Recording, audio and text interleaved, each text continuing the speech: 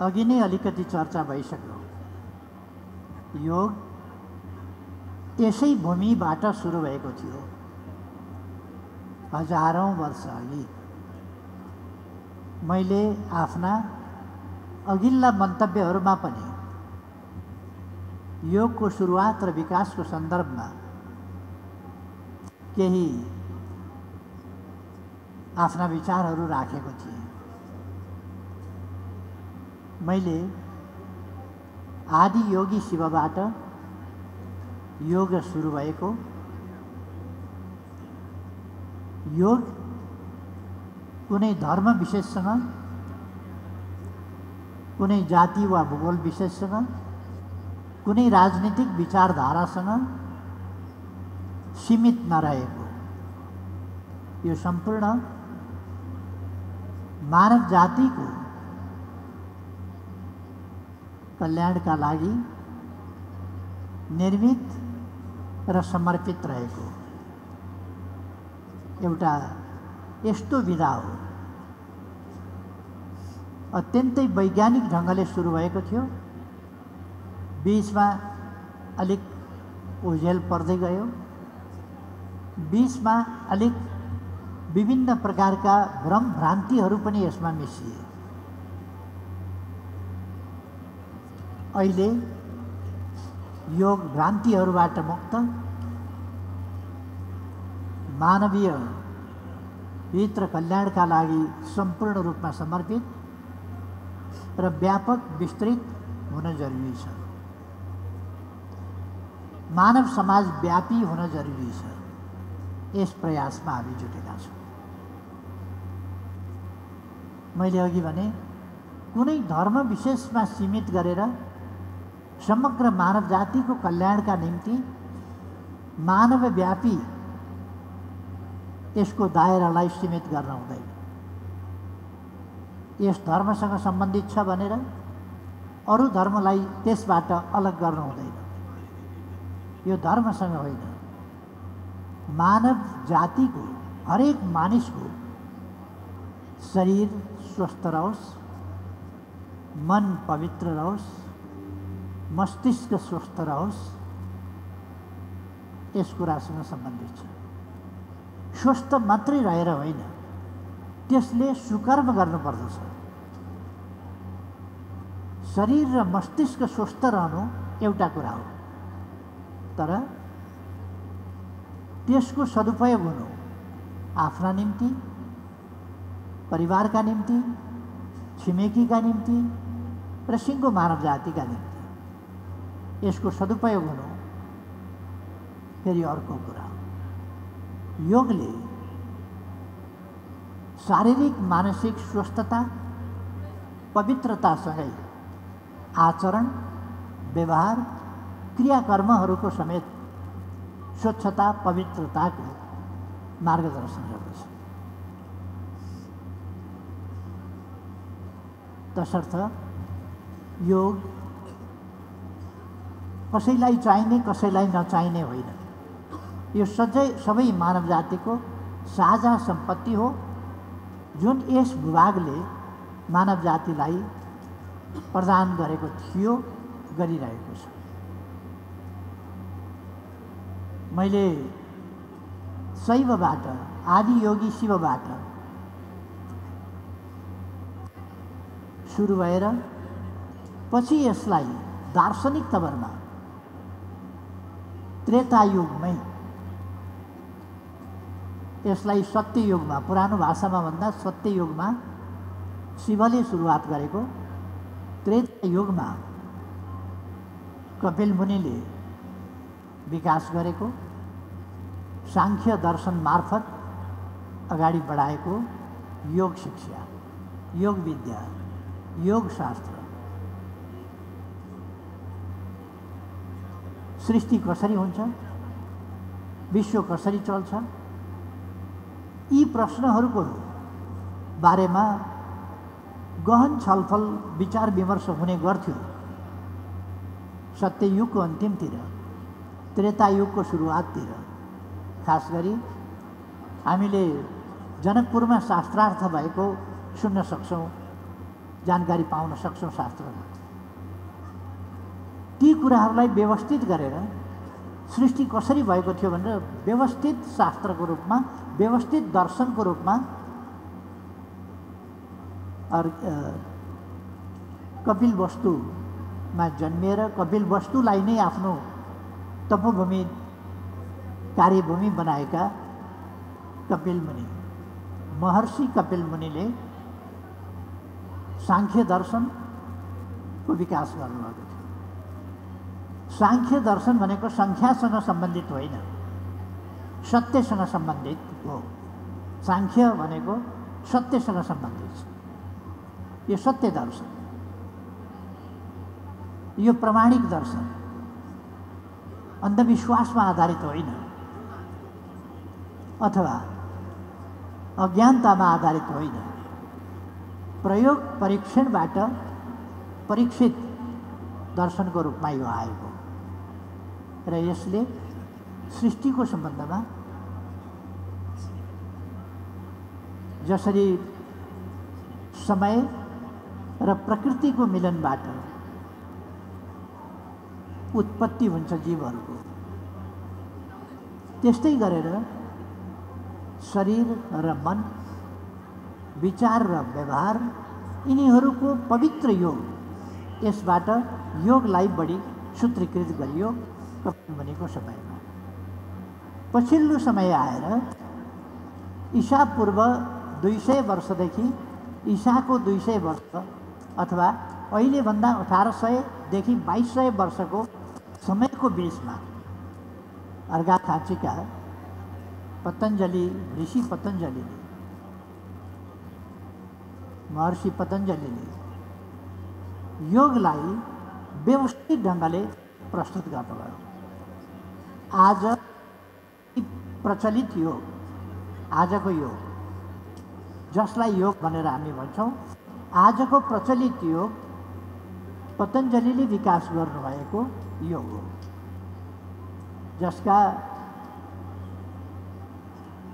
चार पाद अथवा चारवटा शाखा छन्।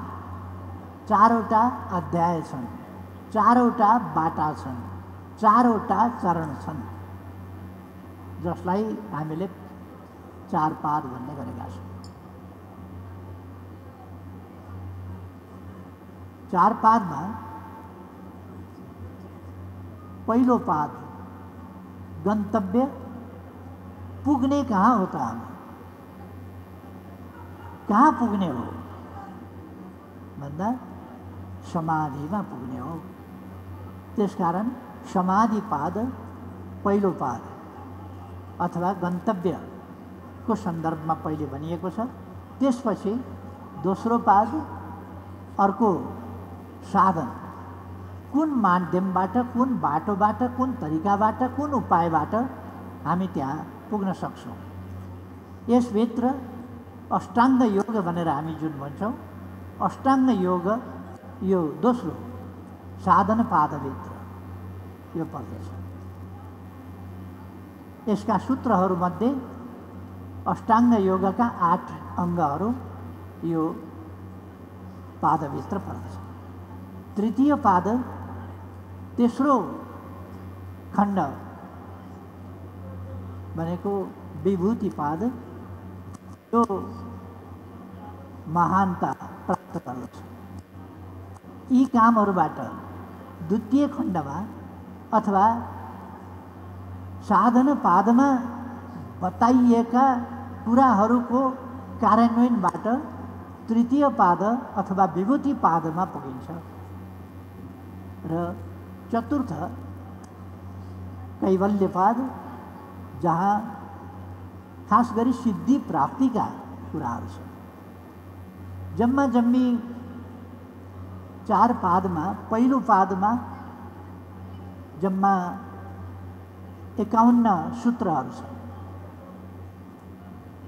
समाधि प्राप्त कसरी हुन्छ? के हो समाधि भनेको दोस्रोमा व्यापक रूपमा उपायहरूको बारेमा माध्यमहरूको बारेमा बताइएको छ।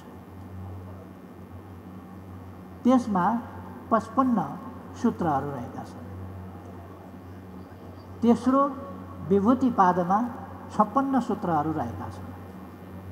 र चौथो कैवल्य पाद त्यसमा चौतिस सूत्रहरू रहेका छन्। यसरी एक सय चौरानब्बे सूत्रहरूबाट पतञ्जलि योग सूत्रीकृत गरिएको छ चार भागमा। चार भागमा एउटामा एकाउन्न अर्कोमा पचपन्न अर्कोमा छप्पन्न अर्कोमा चौतिस सूत्र गरेर एक सय चौरानब्बे सूत्रहरू छन् यहाँ मैले के कुरा अलिकति उजागर गर्न चाहेको हुँ भने अहिले अलिकति बढी प्रचलनमा आसन र प्राणायामका कुरा छ आसन र प्राणायाम जरुरी छ तर आसन र प्राणायाम निष्प्रयोजनीय हुन्छ। यदि यम र नियम गरिएन भने आठवटा अष्टाङ्ग आठवटा अङ्ग छन्। यम नियम आसन प्राणायाम प्रत्याहार धारणा ध्यान र समाधि। यहाँनिर समाधि यो दोस्रो भित्रै माध्यमहरू भित्रै भनिएको छ तर प्रथम पादमा राखिएको छ समाधि पादलाई तर यहाँ माध्यममा पनि राखिएको छ। यो अष्टाङ्गमध्ये पहिलो हो एम। दोस्रो हो नियम। एम के के गर्न हुँदैन के केबाट बच्नुपर्छ हिंसा नगर अहिंसा। पहिलो। तर हामीले ध्यान के राख्नुपर्छ भने योगका एक सय चौरानब्बे सूत्रहरूमध्ये पहिलो सूत्र पहिलो सूत्र। योगको सूत्र सुरु हुँदा प्रारम्भ हुँदा अथ योगानुशासनमबाट सुरु हुन्छ। अब योगको अनुशासन। पहिलो सूत्र त्यही हो योगानुशासनम। अथ अथ योगान योगानुशासनम। पहिलो चाहिँ सूत्र नै एक सय चौरानब्बे मध्येको पहिलो सूत्र त्यो दोस्रो चित्त योगचित्त निरोध। यो यसरी योगका सूत्रहरू अगाडि बढ्छन्। यदि हामीले गर्न हुने गर्न नहुने गर्न पर गर्नै पर्ने के गर्न पर्छ के गर्न पर्दैन जस्ता कुराहरू अष्टाङ्ग योगका आठवटा अङ्गमध्ये यम पहिलो त्यसको पहिलो नै अहिंसा हिंसा गर्न हुँदैन अहिंसा हुनुपर्दछ असत्य होइन सत्यको मार्गबाट चल्नुपर्दछ असत्य परित्याग गर सत्य धारण गर अस्तेय चोरी नगर अथवा आफ्नो जायज अधिकारभन्दा बाहिरको कुरामा लोभ नगर। सम्पत्ति होस् वा अरू कुनै चिज आफ्नो अधिकारभन्दा बाहिरको कुरामा लोभ नगर जस्ता कुराहरू अथवा नियन्त्रित हो आफू। ब्रह्मचर्य भनेको नियन्त्रण। आफूलाई नियन्त्रित राख कि जथाभावी नहोस्। हामी सामाजिक प्राणी हौँ समाजमा सुप्रबन्ध हुन्छ त यो सुप्रबन्धलाई हामीले तोड्नु हुँदैन सामाजिक प्रबन्धहरू तोड्नु हुँदैन। यस्ता कुराहरूलाई पालना गरेनौँ भने र यम नियम जस्ता कुराहरू पालना नगरेर यदि हामीले योग भनेको आसन र प्राणायाम बुझ्यौँ भने आसनले शरीरलाई स्वस्थ बनाउँछ चुस्त दुरुस्त बनाउँछ हाम्रो रक्त सञ्चार गर्छ मसलहरू दरा बनाउँछ फोक्सोलाई राम्रो बनाउँछ मुटुलाई पनि दह्रो बनाउँछ सबै राम्रो हुन्छ र बलियो बनाउँछ स्टामिना डह्रो बनाउँछ आसनले। प्राणायामले आसनलाई मद्दत के पुर्याउँछ भने अक्सिजन मुटुमा पुर्याउँछ रगतमा पुर्याउँछ त्यो अक्सिजन शरीरका विभिन्न भागमा पुर्याउँछ पर्याप्त अक्सिजन मस्तिष्कमा पुर्याउँछ। सबभन्दा धेरै हामीले खर्च गर्ने कुरा चौबिस घन्टामा कुनै चिज खर्च गर्छौँ भने दुई किलो चार किलो खाना खर्च गरौँला दुई चार लिटर पानी खर्च गरौँला हजारौँ लिटर हामीले अक्सिजन खपत गर्छौँ दिनमा चौबिस घन्टामा।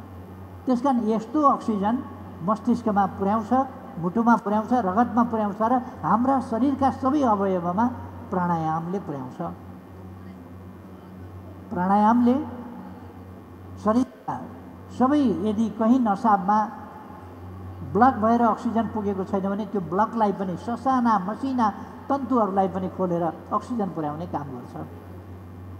त्यसो भएर यसको धेरै महत्त्व छ। हामीले यसरी योगलाई समग्र जीवन पद्धतिसँग योग वास्तवमा जीवन पद्धतिसँग जोडिएको छ हामीले कस्तो जीवन बिताउने हामी निरोगी हुनुपर्दछ निरोगी शरीर हुनुपर्दछ निरोगी विचार हुनुपर्दछ अथवा स्वस्थ शरीर स्वस्थ विचार त्यो हुनुपर्दछ र त्यसले स्वस्थ या उचित कार्य हामीले गर्नुपर्दछ। उचित कार्य। योगको अर्थै हो। त्यसकारण अहिंसा नगर्ने कुरा लोभ लालच नगर्ने कुरा त्याग गर्ने कुरा करुणामय भाव राख्ने कुरा मानव जातिप्रति जीवहरूप्रति वनस्पतिहरूप्रति सबैप्रति करुणा भाव राख्ने कुरा शान्ति भाव राख्ने कुरा यी सबै कुराले सिङ्गो समाजलाई सकारात्मक असर पार्दछन्। त्यसकारण हामी निरोगी नेपाल भन्दा निरोगी नेपालका लागि योग अत्यन्तै महत्त्वपूर्ण कुरा हो। निरोगी मानव जातिका लागि योग अत्यन्त महत्त्वपूर्ण कुरा हो। निरोगी समाजका लागि निरोगी समाज विकृति युक्त मुक्त समाज यदि हामीले निर्माण गर्ने हो भने योग परिहार्य छ योगमा समय क्रममा कतिपय ऐँहरू जस्ता कुरा पलाएका हुन्छन् अज्ञानताले कतिपय भ्रमहरू पलाएका हुन्छन् तर योगले अन्धविश्वासमा विश्वास गर्दैन। यसले प्रमाणमा विश्वास गर्छ सत्यमा विश्वास गर्छ तथ्यमा विश्वास गर्छ अहिंसामा विश्वास गर्छ मित्रतामा विश्वास गर्छ र सर्वकल्याणमा विश्वास गर्छ। त्यसका निम्ति त्यागको भावना यसभित्र यसर्थ हामीले यस योगलाई यो योगको अभ्यासलाई विश्वव्यापी रूपमा फैलाउने कोसिस गरेका छौँ यसको सुरुवात हामीलाई सबैलाई थाहा छ। धेरै हजार वर्ष अगाडि भयो र बिचमा यो अलिक सीमित मात्रामा सीमित अर्थमा सीमित व्यक्तिहरूमा खुम्चिएर रहन बाध्य भयो अब यसलाई हामीले सीमितबाट असीमित सम्पूर्ण मानव समाज व्यापी बनाउन प्रयास गर्नु छ यसका लागि सन् दुई हजार पन्ध्रबाट संयुक्त राष्ट्रसङ्घले अन्तर्राष्ट्रिय योग दिवसको घोषणा गरेपछि अहिले यो विश्वव्यापी रूपमा योग प्रचारित हुँदै गएको छ र हामीले मानिसलाई स्वस्थ र असल बनाउने हो। मानिसलाई स्वस्थ जीवन जिउन र असल कर्म गर्न सिकाउने कुरा योग हो भन्ने कुरा बुझ्नुपर्छ। यदि थोरैमा भन्ने हो भने योग भनेको वास्तवमा आफूलाई मुक्त गर्नु हो। रोगबाट मुक्त विकारहरूबाट मुक्त विकृत चिन्तनहरूबाट मुक्त लोभहरूबाट मुक्त अनावश्यक अनुचित कुराहरूबाट मुक्त राख्नु यसको माध्यम योग हो।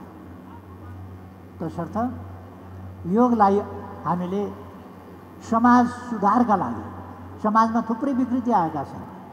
ती विकृतिहरूलाई हटाउन यदि मान्छे बिग्रियो भने कानुन जति बनाए पनि, जति सुरक्षा प्रबन्ध गरे पनि, जति हतियार बनाए पनि हतियारले विश्वमा मानव जातिलाई काबुमा राख्न सक्ने छैन। हतियार ज्ञानले मैत्री भावले मानवताले मानवीय भावले मानिसलाई न्यायले मानिसलाई वास्तवमा स्वनियन्त्रणमा राख्छ। मैले पहिले योगका विभिन्न चार भागहरूको अथवा अष्टाङ्ग योगका आठवटा अङ्गहरूको अथवा एक सय चौरानब्बे सूत्रहरूको व्याख्या र वर्णन गर्न लागिरहेका छैन। मैले वर्णन गर्न लागेको भन्न खोजेको कुरा हामीले समाजलाई सुधार गर्ने हो। त्यस कारण हाम्रा योग गुरुहरूसँग मेरो के आग्रह छ या हामी हरेक जसले योगको मार्ग सही योगको मार्ग यसमा व्यापारिक उद्देश्य मिसिनु हुँदैन।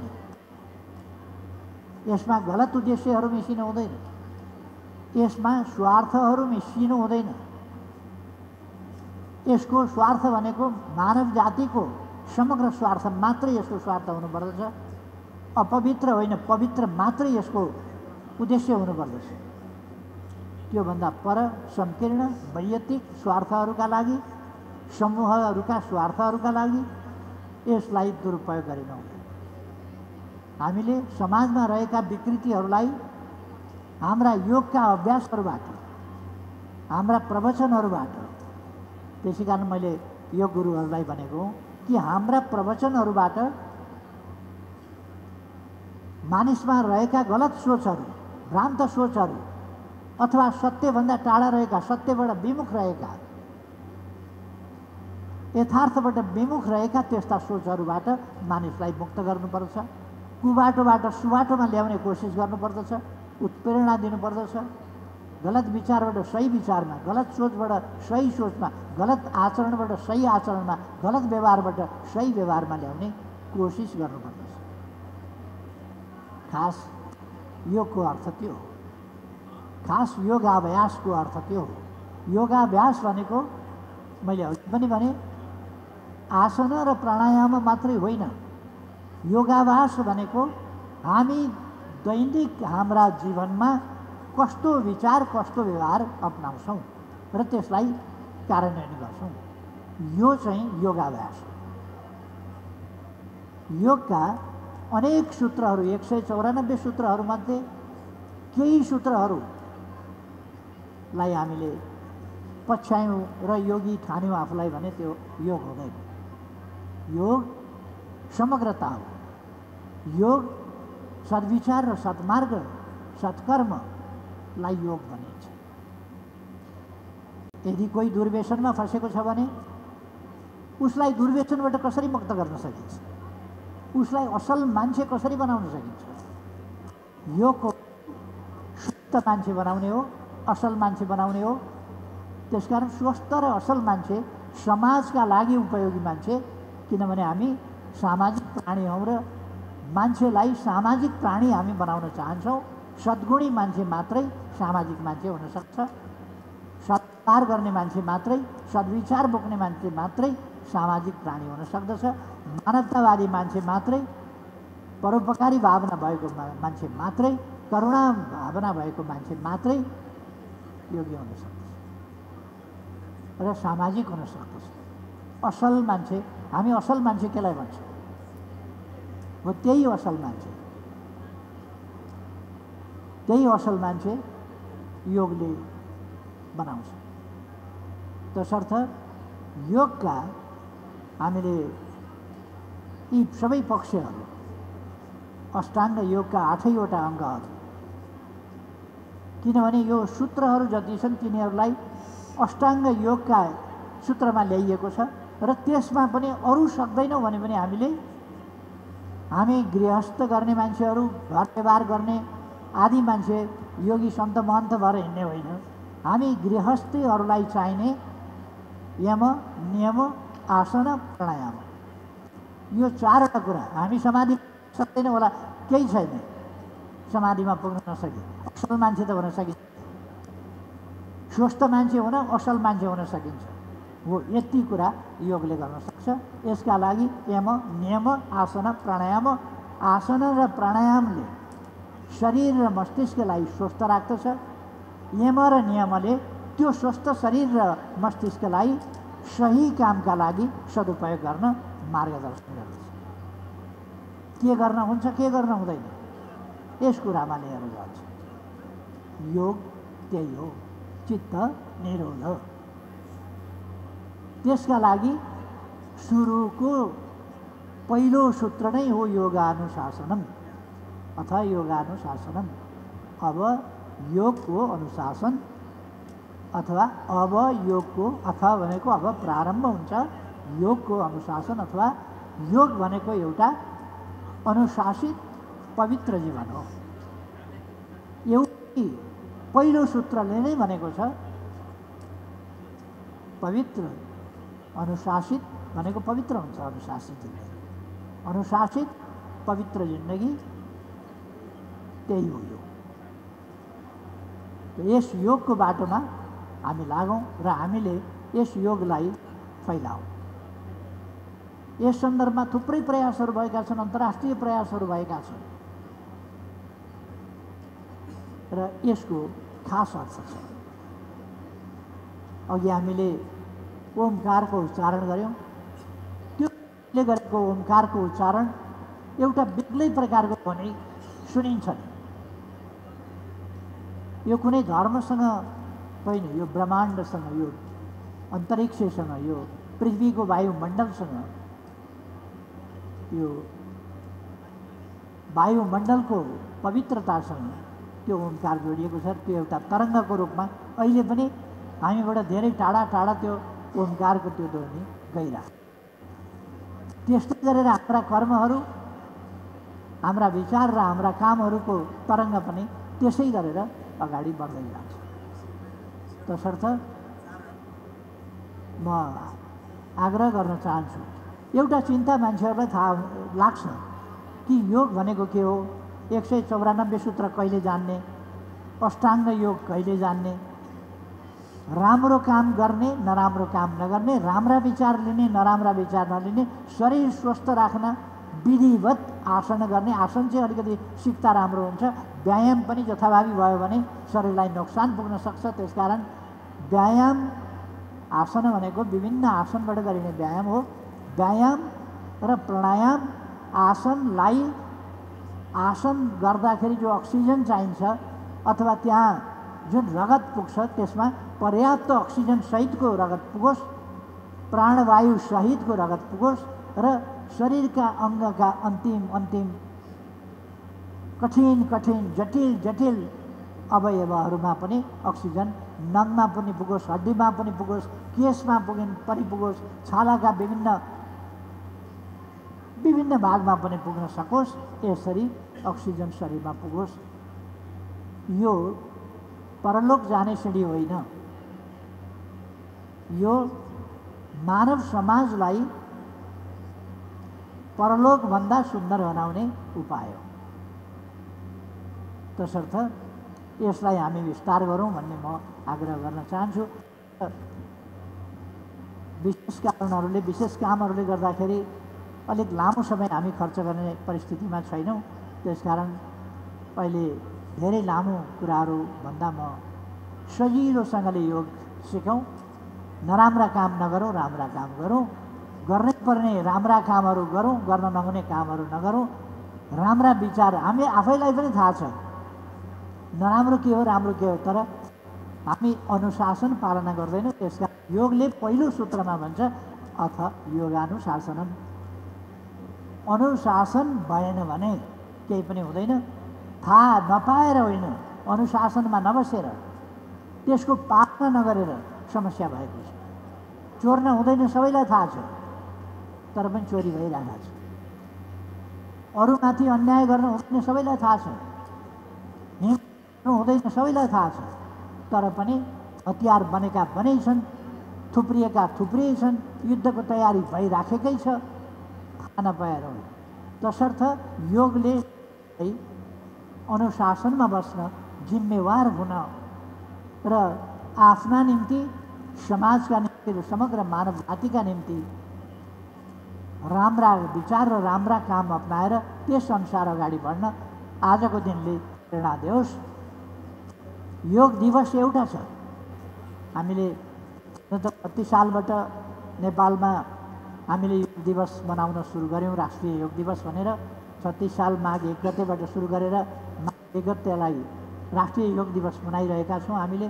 तर विश्वव्यापी रूपमा यो सबभन्दा लामो दिन उत्तरायणबाट दक्षिणायनमा मुखबाट सूर्य दक्षिणायनमा जान्छ। त्यसकारण उत्तरायणको अन्तिम दिन सबभन्दा लामो दिन शिवले आफ्ना शिष्यहरू सप्तऋषिलाई ज्ञान दिएकोबाट सुरु भएको भन्ने मान्यता अनुसार यसै दिनलाई बडो विचार विमर्श गरिकन संयुक्त राष्ट्र सङ्घले यसै दिनलाई अन्तर्राष्ट्रिय योग दिवस भनेर मानेको छ। दुई हजार चौधमा प्रधानमन्त्री नरेन्द्र मोदीजीले संयुक्त राष्ट्रसङ्घमा यसको प्रस्ताव राख्नुभयो र त्यो संयुक्त राष्ट्रसङ्घले सर्वसम्मतिले यसलाई यसभित्र केही परिमार्जित कुराहरू यसभित्र बुद्धिज्मका कुराहरू ध्यानका कुराहरू यी कुराहरू पनि छन्। र ध्यान शिवकै पाला देखेको हो। तर ध्यान शिवका पाला देखेको भए पनि पछि आएर बुद्धका पालामा ध्यानको विशेष अर्थ र विशेष महत्त्व बढ्यो। ध्यानलाई योगले पनि समेटेको छ। र यी सबै पक्षहरूलाई ध्यानमा राखेर हामी राम्रा विचार अपनाउँ राम्रा काम गरौँ यसका निम्ति योग दिवसले विशेष सबैलाई प्रेरणा दियोस् सबै मानव जातिको कल्याण होस् योगले निरोगी हामी सबैलाई निरोगी रहन, र निरोगी नेपाल रहन मद्दत पुर्याओस् धन्यवाद।